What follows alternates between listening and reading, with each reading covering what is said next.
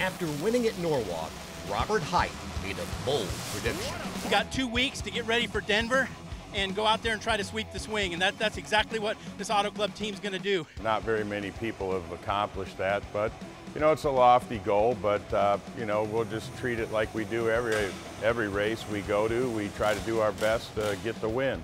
You got to take one at a time.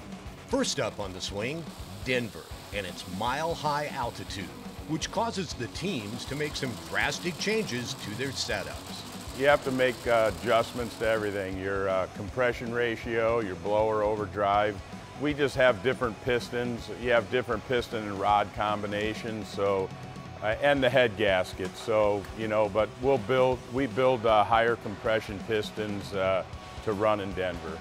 Your fuel curve's different up there because you can't make up for the air like we, most of the time we can on sea level. Your timing curves are different.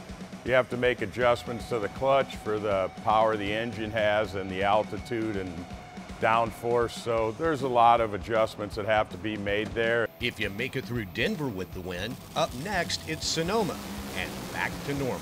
Well, same thing, you know, the racks are different. You got to adjust that back.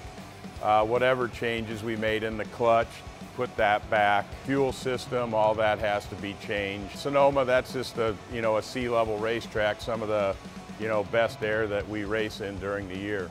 After Sonoma, somewhat similar conditions wait at Seattle. But that's not the end of the trip for this team. For us, we're getting ready. That, that's what we're doing, prepping all our stuff. We're getting ready to run uh, six weeks in a row here because after Seattle, we're going to come back to the shop here.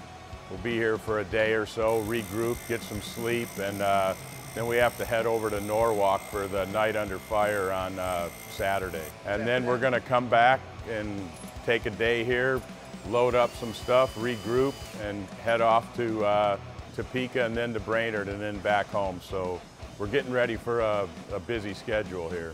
That's a bit of an understatement, don't you think? For the NHRA, I'm John Kernan in Indianapolis.